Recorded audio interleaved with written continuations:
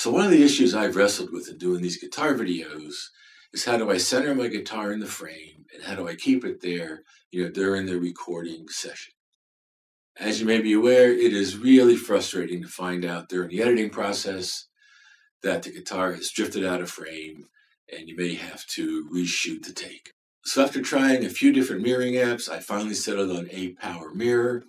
I found it to be reliable and also fairly easy, you know, to use. In this video, I'll show you how to broadcast from an iPhone to an iPad, and then I'll walk through how I use the app during a recording session.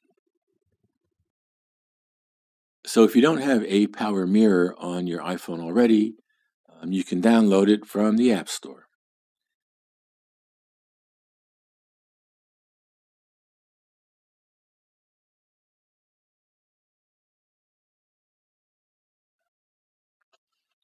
And there it is. That's the one you're going to want to download. This ApowerMirror blue icon with the white M. That's the one that we'll be using to monitor a, a video shoot.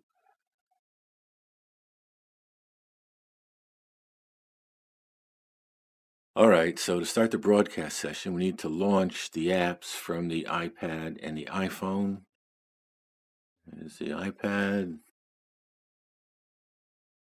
and the iPhone. Uh, now, it doesn't matter the order that you launch them. You know, the main thing is that the iPad and the iPhone are both known to the same Wi Fi network. That's the important thing. So, by the Wi Fi label on the iPhone, you can see this warning message cannot obtain the name of Wi Fi now. And that is just a warning message. It has no effect on the broadcast feature. So, you know, that's that's not a problem. So the next thing is to log into your account. So we tap on the Me icon, tap to log in.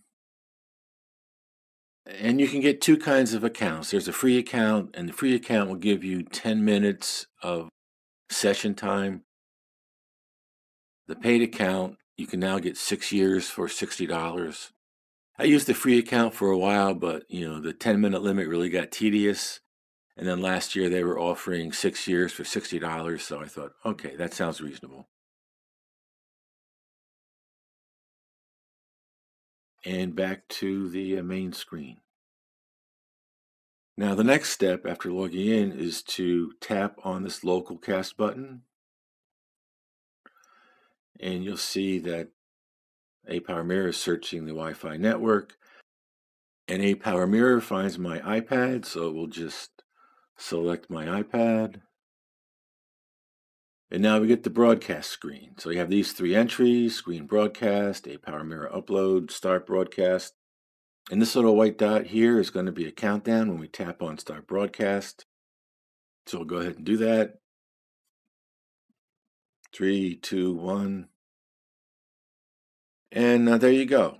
The uh, iPhone display is now being shown on my uh, on my iPad. So swipe up, swipe up again, check out a few apps, calculator, clock. But of course, the app that we're interested in is the camera app. So we'll tap on my camera app, scroll over to video.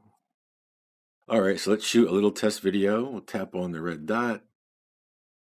There we go. You can see it's being displayed on my iPad. There's my desktop.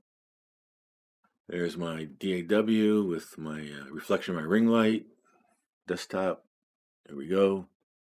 All being shown on the iPad. I'll stop recording. So now we'll navigate back to ApowerMirror. We'll swipe up.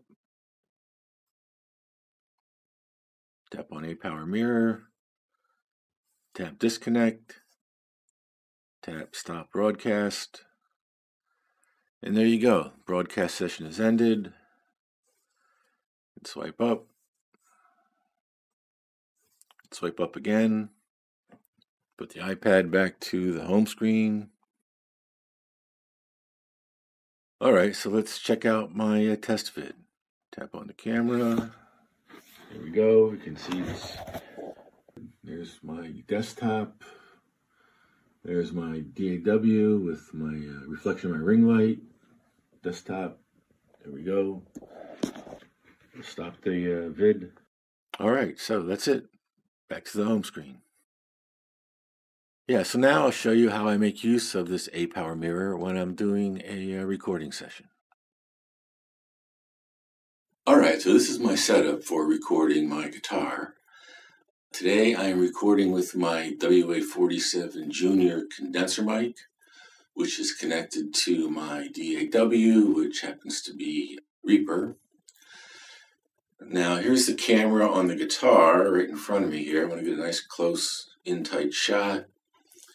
And then over there is my iPad, which I'm using as a, a uh, monitor.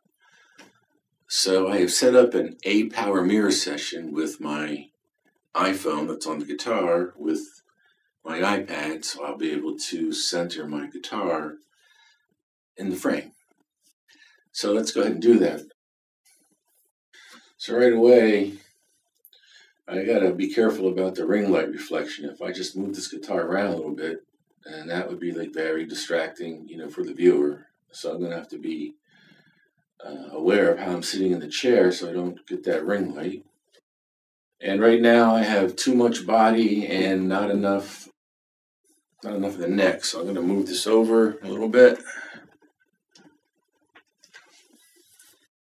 It's better. I'm still getting that ring if I move around a little bit, but I want to get the whole neck, so I'll move back a little bit.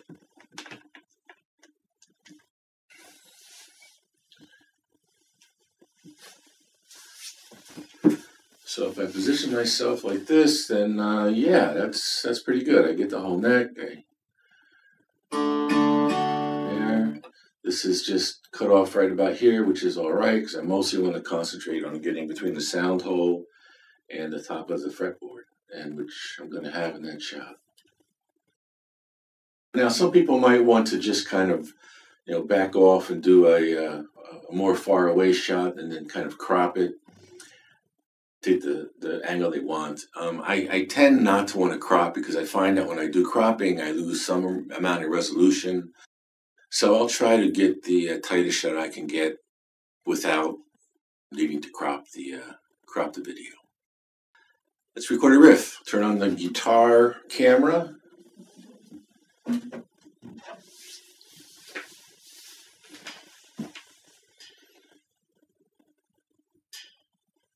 all right, there we go.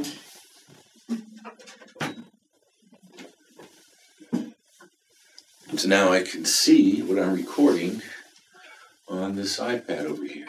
So back in position, looks good. Oh yeah, and do a little hand clap. I do the hand clap so that later on when I'm editing the video, I can sync up my uh, guitar vid with my external audio, which I'll have you know treated with uh, uh, with Reaper.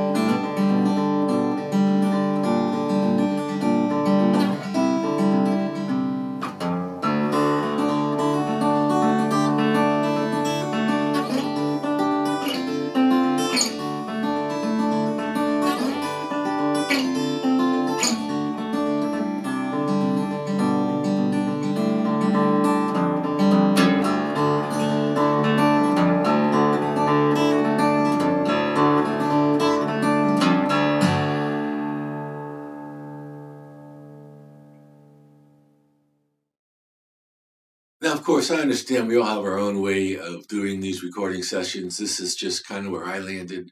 Hope you got something out of it. I'm always looking for ways to make this easier and more fun. So, with that, know, we'll see you next time.